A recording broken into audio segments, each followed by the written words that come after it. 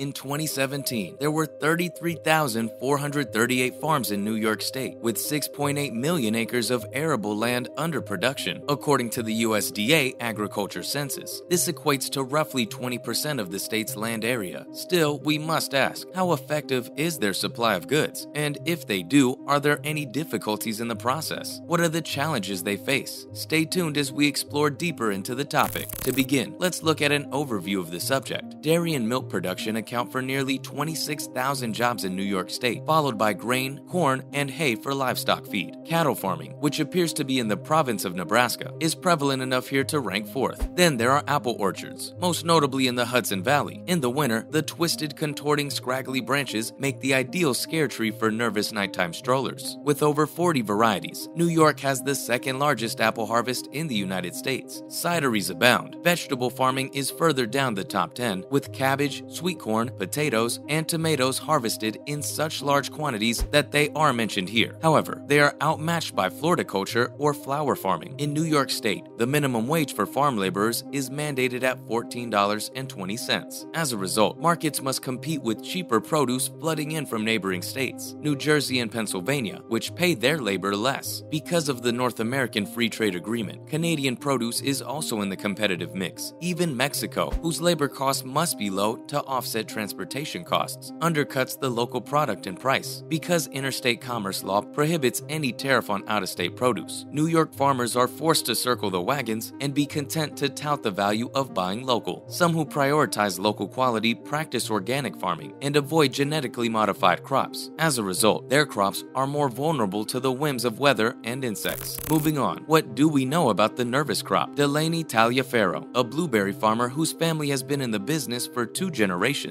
says, My season is winding down. The Taliaferro farm is located in the town of New Paltz. In addition, we have our strawberry patch over there. We also did some melons. This year's melons were not a particularly good crop for us. To put it another way, the melon harvest was extremely fruitful. Simply put, we did not plant as many as we should have. Accurately forecasting the weather is as important to a successful harvest as good luck is to a casino gambler. If you lick your finger and stick it in the wind for three months, you should be able to predict which direction the wind will blow. A long row of greens that have yet to be picked can be seen from a long distance away. That's Romanesco, cauliflower, broccoli, and kale, Taliaferro says as she goes down the list. According to Taliaferro, these are the toughest of greens. He further said, The foods covered in the following section are beets and spinach. Another vegetable whose leaves I'll begin to cover today is arugula, brassicas. The Taliaferro farm is unhappy with the unusually warm weather occurring recently. We already had a frost, she says. That sort of thing confuses a crop. Apples that ripen and fall too early, a nervous crop. Broccoli is ever ready to bolt. Following that, Davenport. Been there, done that. Bruce Davenport of Stone Ridge's Davenport Farms has been in the business for 40 years. Sweet corn is the cash crop in this area. As far as that goes, vegetable farms are so low on the totem pole that we get no help from the government at all, Davenport says. The USDA has programs that help vegetable farms if you fit into certain small groups. For example, we get subsidized for putting cover crops on our land after we finish farming it, which is helpful. However, because it's so small, it does not fit into our business plan. We're grateful for it because it allows us to take better care of our soil. But what the government gives us amounts to some tax breaks because of our agricultural land. Cover crops are planted in the off season to help manage soil erosion. They may also have the effect of replenishing nutrients depleted by the cash crop. Consider nitrogen. There is also an agricultural exemption for farmland, Davenport explains. There are very specific parameters, and if you're actually farming and making a living off farming, that's not a big hoop to jump through. And yes, it reduces your school taxes. Next up, more specifics on Davenport report. Been there, done that. Davenport is concerned about the state labor commissioner's recent changes to overtime laws for farm labor, which have reduced the threshold from 60 to 40 hours per week for when overtime pay kicks in. Davenport said they effectively reimburse us for overtime over 40 hours, but less than 60. According to my understanding, they must approve this reimbursement every year, and that will most likely be pulled out from under us somewhere down the road. As a result, we'll have to pay it back. If we have to continue paying overtime and not getting reimbursed for vegetable farms, you're going out of business. The changes will be implemented gradually over the next 10 years. In the meantime, the state government is footing the bill. Davenport is correct that future legislatures must approve the amount of money allocated in the bill. Davenport is a fourth generation farmer who has dabbled with crop changes in search of a more profitable harvest. Been there, done that, Davenport says. We grew a lot of hemp for CBD. That did not go as planned. You have to stick to to what you know. We have what some people call ancestral knowledge because my grandfather and father did this. We're also pretty good at what we do, and switching is fine for someone who is just starting. However, all of our equipment and knowledge is geared toward vegetables. It's difficult to get a crop of tomatoes, corn, or cantaloupes off the ground unless you know what you're doing. Moving on, Hepworth, take care of the earth. Down Route 9W into Milton, a seventh generation family farm has expanded into growing cannabis alongside more traditional crops. I'm very aware of food and agriculture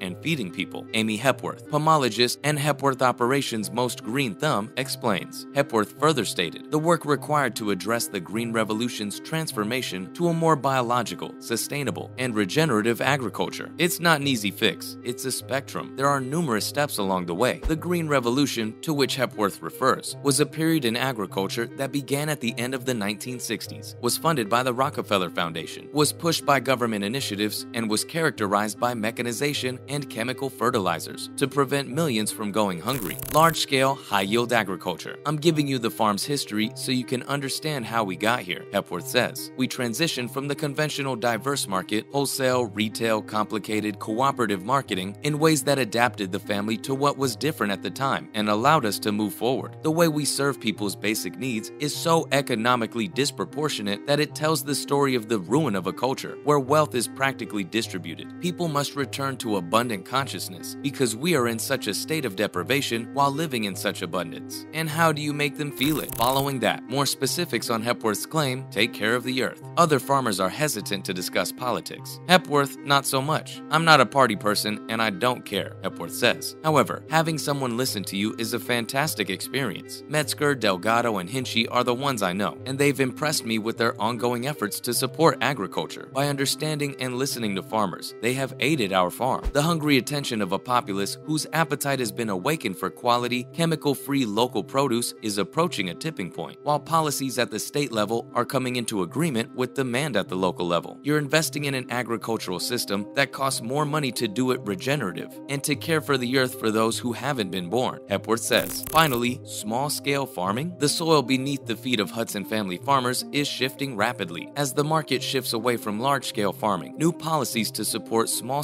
scale, sustainable agriculture may become the norm, as they have in the past. I like small scale farming, Taliaferro says. I think a lot of big farmers are scared of it because they're wondering what are these people doing? What does this mean? Because they manufacture in large quantities, so they've planted, you know, acres upon acres of tomatoes and apples and the like, which I believe we should still have. But I also like the European market style, where a lot of families own smaller farms and then go in every single day. Like that's where people shop. They don't go to the grocery store. Well, that marks the end of our video for today. We hope you enjoyed it. On your way out, make sure to hit that subscribe button. Thanks for watching, and we'll see you next time.